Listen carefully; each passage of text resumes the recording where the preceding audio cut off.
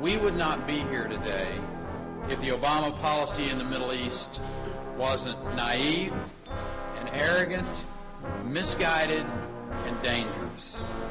And that's why people like myself believe that he threw Israel under the bus.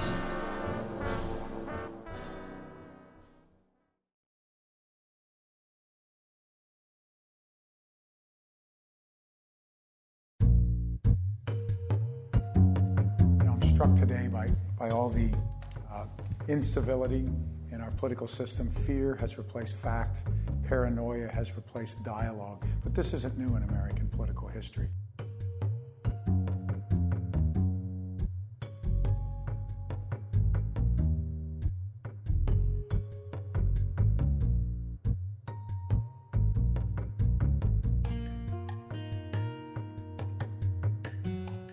On May 14, 1948, at 6:11 p.m. Eastern Standard Time, Harry Truman, as president, recognized the state of Israel, and it was a grand and glorious moment for Israel. But uh, in the weeks and months leading up to recognition, Truman encountered massive opposition from Zionists, the American Jewish community, and prominent rabbis around the country.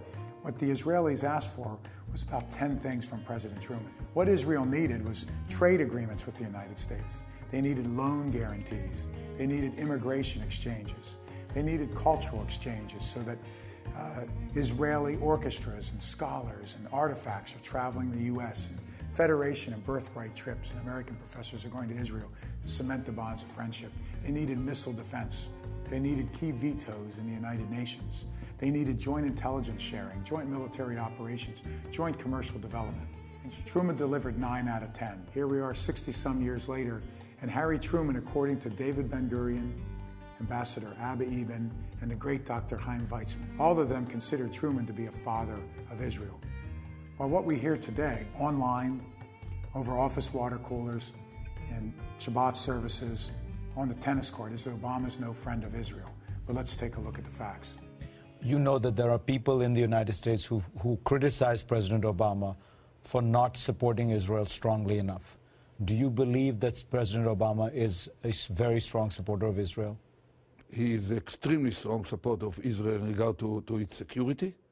Uh, I don't. Uh, traditionally, President was supporting Israel in keeping its quality military edge and taking care of its uh, security needs, but this administration is excelling in this, uh, and it could not have happened without the immediate direct support of the president. So I don't think that anyone can raise any question mark about the devotion of this president to the security of Israel.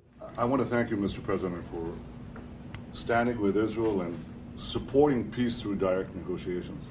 I think this is a, this is a badge of honor, and I want to thank you for that. Thank you. Obama put together probably, arguably, I would say, the greatest trade agreement in Israel's 63 year history. Israeli products are selling like hotcakes in the United States, and it couldn't have come at a more fortuitous time because all around the world, Israel products are being boycotted. Obama cemented the cultural exchanges, immigration exchanges, billions of dollars in loan guarantees, more missile defense than any president in history, key vetoes in the United Nations, and during the disastrous Turkish flotilla incident, when the world community asked Obama to criticize Israel, he refused to do it. If we look at the 10 items that the great founding fathers of Israel asked Truman for, Truman delivered 9 out of 10 and was considered a father. Let's take a look at what Obama's done. He's delivered in his first year alone all 10 out of 10. So, what can we do as concerned American citizens, as voters, as friends of Israel? We can start by checking the facts and making sure that we get out the truth.